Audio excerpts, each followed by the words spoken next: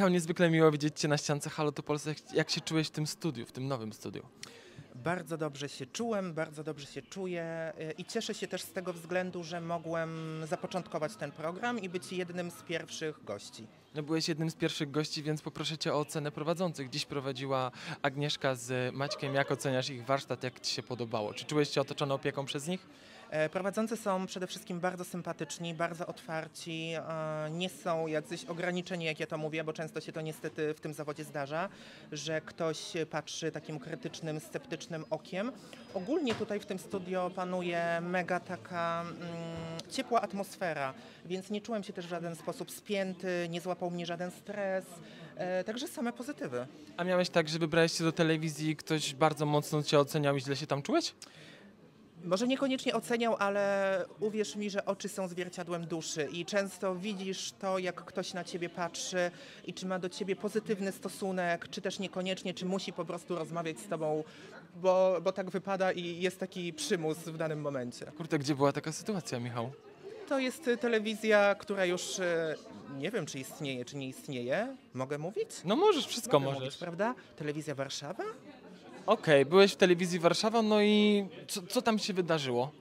No była taka pani dziennikarka, która em, no, niezbyt, y, niezbyt pochlebnie gdzieś tam wypowiadała się poza kamerami na mój temat, jeszcze przed moim występem. No i też podczas całej rozmowy można było odczuć, że ona non-stop uderza we mnie jakimiś pytaniami, a niekoniecznie zadaje te pytania w taki sposób, żebym ja mógł na nie faktycznie odpowiedzieć, tylko w każdym pytaniu było wbicie szpilki. Czyli rozumiem, że nakierowała się gdzieś tam swoimi e, poglądami i ty akurat w te poglądy się nie wpisywałeś? Miałeś okazję z nią porozmawiać, zwrócić jej uwagę?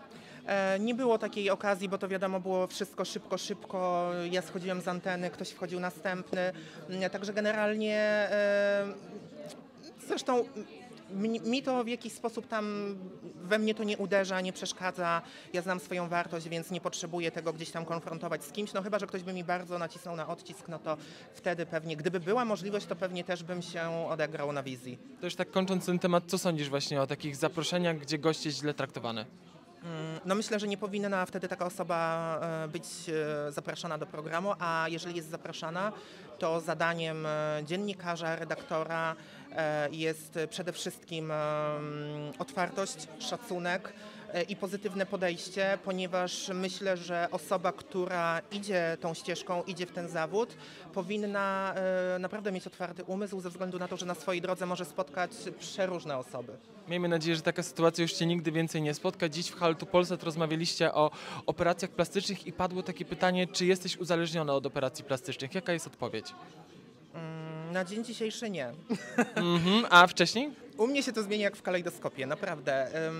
Natomiast y, ostatnią operację robiłem y, rok temu, równo rok temu. E, Chodzi bardziej o to, że mm, to nie jest tak, że ja bym czegoś sobie nie zmienił, ale skupiam się na tyle teraz na projektach zawodowych, a wiem ile trzeba czasu poświęcić na to, żeby e, całe ciało doszło do siebie, więc e, na dzień dzisiejszy mówię stop, ale kto wie, może coś mi odwali e, w mojej głowie za kilka miesięcy, jednak pójdę pod nóż. A jak myślisz, z czego się wzięło to uzależnienie do operacji? To było tak, że czułeś się niewystarczający? Jak myślisz? Może nie tyle, że niewystarczający, ale mm, ja zauważyłem po sobie i rozmawiając z różnymi osobami, to jest tak, że jak zrobisz jedno, coś, co ci naprawdę przeszkadza i masz już spokój, to nagle zaczynasz widzieć w sobie drugi defekt. Robisz ten defekt, wydaje ci się, że już będzie ok, mówisz, że to już jest koniec, nagle mówisz, a zobaczysz coś u kogoś, no może też bym to zrobił u siebie i to tak gdzieś tam idzie, no. Michał, teraz wyglądasz bardzo dobrze, bo wygląda to schludnie, estetycznie, ale miałeś takie momenty, że ten wygląd był trochę gorszy. Czy twoim zdaniem powinni lekarze ci odmawiać czasem? Myślę, że powinni zwracać na to uwagę, ale w sposób e, konstruktywny i merytoryczny, ponieważ ja już miałem jeden taki konflikt e, z lekarzem medialny, gdzie mm, wykorzystał moje zdjęcie z jakiejś ścianki, gdzie byłem zresztą tydzień po operacji. Naprawdę nie czułem się najlepiej, ale poproszono mnie, żebym na tym evencie był. E, Na zdjęciu nie mówię, że wyszedłem korzystnie, wtedy też zmagałem się z dużą migracją kwasu hialuronowego i on wrzucił to zdjęcie u siebie jako post i oczywiście wylał na mnie wiadro pomyj. I ja już tego nie będę oceniał, czy to było w porządku, czy nie, ale to też świadczy przede wszystkim o tym człowieku. Mm, to świadczy o tym, jakie ma podejście do ewentualnego potencjalnego klienta. Wiadomo, że tam ludzie pisali mu w komentarzach och i ach i że ma rację i tak dalej. Natomiast uważam, że znacznie lepiej byłoby, gdyby on do mnie napisał prywatnie. E, co, e, nie wiem, napisał Michał, chłopie, co ty ze sobą robisz? E, spotkajmy się, ja, ja to zmienię, ja to rozpuszczę, nie wiem, może zobaczysz siebie w innym odzwierciedleniu, może coś zrobimy w sposób naturalny. Uważam, że to miałoby ręce i nogi i rację bytu, a nie takie hamskie gdzieś tam zaatakowanie mojej osoby, no ale uważam, że jest to osoba niespełniona, która lubi podczepiać się pod em, jakieś e, tematy na topie i wyszło jak wyszło. Wrócę do mojego pytania, czy twoim zdaniem lekarze powinni ci odmawiać w przeszłości? E, znaczy, myślę, że tak. Myślę, że tak. Myślę, że powinni zwrócić mi uwagę, że jak dołożę czegoś więcej, to już będzie naprawdę migracja, albo że już jest za duża migracja. To jest na takiej zasadzie. Natomiast ja kiedyś miałem tą migrację, ja jej nie widziałem. Mi się wydawało, że jest w ogóle wszystko pięknie. Ale kiedyś też były inne metody, jeżeli chodzi o tą medycynę estetyczną. Teraz ta medycyna estetyczna się rozwija, idzie do przodu. Z tego względu ja też em, większość tego kwasu rozpuściłem. Ja w ogóle nie pomyślałbym jeszcze rok czy dwa lata temu, że ja wrócę do jakiegoś takiego bardziej naturalnego luku. Ja wiem, że każdy powie, że nie mam naturalnego luku, ale gdzie to będzie wszystko symetryczne, gdzie to nie będzie spływało, migrowało, tylko, tylko jednak będzie schludne, tak jak to powiedziałeś. Czyli rozumiem, że powinni odmówić ci wstrzyknięcie kolejnego kwasu. Dokładnie tak, dlatego go teraz nie wstrzykuję. E, mam jeszcze w planach nawet zrobić delikatne rozpuszczenie tego kwasu, więc e, nie poznaję samego siebie. A myślisz, że to wynikało z chęci zarobienia po prostu, że nie patrzyli dobrem, dobrem klienta, pacjenta, tylko portfelem? Myślę, że większość patrzy w ten sposób. Nawet jeżeli ktoś mówi, że jest zwolennikiem naturalności, jakiś lekarz, kosmetolog, że nie wykonuje przerysowanych efektów, to jest w 90% nieprawda. Każdy zrobi tobie ten zabieg, byle zarobić, ale ewentualnie nie posłuży się tą pracą w mediach społecznościowych. Po prostu nie podpisze się pod tą pracą, że on coś takiego zrobił. Natomiast e, ten biznes jest nastawiony na kasę. Dobrze czy niedobrze? Nie mi to oceniać. Generalnie y, ja uważam, że każdy niech robi ze sobą co chce, e, aczkolwiek y, ja cieszę się, że mam już ten zdrowy rozsądek y, i, i nie przyginam z tym tak bardzo jak kiedyś, bo kiedyś potrafiłem raz w miesiącu powiększać usta czy, czy robić jakieś inne zabiegi wolumetryczne na twarzy. A teraz, tak jak zresztą wspomniałem w programie, ostatni zabieg wolumetryczny miałem jakieś półtora roku temu. W porywach do dwóch, więc jak na mnie to jest to, no to są lata świetlne temu. W programie Hal to Polsat padła kwota 100 tysięcy złotych. Czy to prawda, że tyle wydałeś? Myślę, że tak. E, No myślę, że nawet ponad, gdyby złączyć e, operacje plastyczne i medycynę estetyczną. No operacje plastyczne nie są tanie. A to było tak, że się zadłużałeś, czy po prostu sam pracowałeś i ze własnej kieszeni płaciłeś? Nie jestem zwolennikiem zadłużania się, po to ciężko pracuję, żeby móc sobie pozwolić na em, tego typu zabiegi. E, więc dlatego teraz też praca, praca, jeszcze raz praca, a później może pokroję się wzdłuż i wszerz.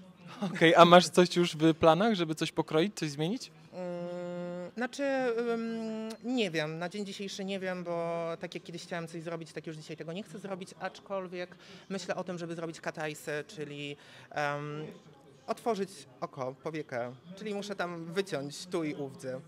Okej, a jak twoja rodzina reaguje na te twoje przeróbki? Na ten moment e, sami nawet mówią mi to wprost, że w porównaniu z tym, co było, a tym, co jest, no to jest mega duża przepaść i mega duży postęp i że wyglądam naprawdę naturalnie.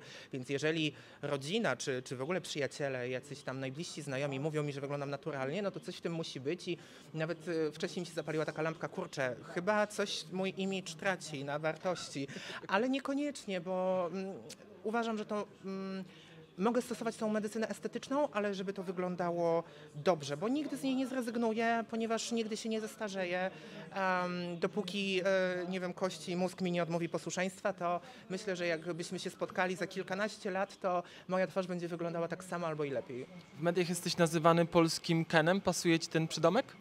E, oczywiście, pasuje. E, to też nie jest tak, że ja się sam w ten sposób nazwałem, aczkolwiek przyjąłem to i myślę, że e, pasuje do mnie mm, idealnie. Ja ogólnie lubię ten taki porcelanowy look i mm, może to jest też złe, bo mm, jakby wszystkie technologie idą do przodu i tak jak możemy korzystać z różnych filtrów na Instagramie czy w różnych innych aplikacjach, robić sobie totalny soft na twarzy, mm, to jest też trochę niebezpieczne, bo człowiek chce tak wyglądać. I ja też dążyłem i w sumie też dążę do jakiegoś takiego ideału, że ja zawsze muszę mieć matową cerę, e, ona mi się nie może błyszczeć, choć gdzieś tam delikatnie, bo zaraz mnie to wkurza, E, więc ym, zobaczymy co będzie dalej, ale już nawet widziałem takie filtry, które prawie całkowicie zmieniają rysy twarzy, tak? Z okrągłej twarzy można zrobić twarz mega zarysowaną, więc ja się staram jednak mimo wszystko na tych zdjęciach też używam filtrów, po to one są, ale staram się nie zmieniać siebie, że mm, jak ktoś mnie zobaczy na zdjęciu, a zobaczy mnie na żywo, żeby stwierdził, że to są dwie inne osoby. Chciałbym wrócić do tego polskiego Kena. Czy uważasz, że jesteś podobny do Kena? E, e, mm, Jestem zmodyfikowanym Kenem. Jestem zmodyfikowanym Kenem i uważam, że nie możemy iść w takie wersje pierwotne, ponieważ wszystko na świecie się zmienia, wszystko na świecie się udoskonala. E, Myślę, że są pewne cechy e, podobieństwa, natomiast e, już spotkałem się z takimi mm, stwierdzeniami, że Ken nie miał tak dużych ust. Nie wiem, Ken nie miał tak dużych policzków. Dlatego ja stworzyłem wersję no nie powiem, że 2024, bo powstałem wcześniej, ale y, nową wersję Kena. Też tak kończąc naszą rozmowę, zastanawiam się, jak ty reagujesz na opinie innych ludzi, którzy nieproszeni oceniają twój wygląd. Szczerze, mam to w swoich pięknych czterech literach. E, Nie obchodzi mnie to totalnie. Uważam, że nigdy nie skrytykuje cię ktoś, kto robi więcej od ciebie. Dlatego idę przez świat z podniesioną głową. E, Gdyby ten hejt miał na mnie jakoś wpłynąć, to myślę, że już dawno bym się wycofał z tego świata e, medialnego. Mm, A jednak idę do przodu, staram się realizować swoje pasje, swoje marzenia, swoje cele. I Dziękuję wszystkim hejterom, którzy atakują mnie każdego dnia, bo, bo dzięki nim istnieję i oni motywują mnie do działania.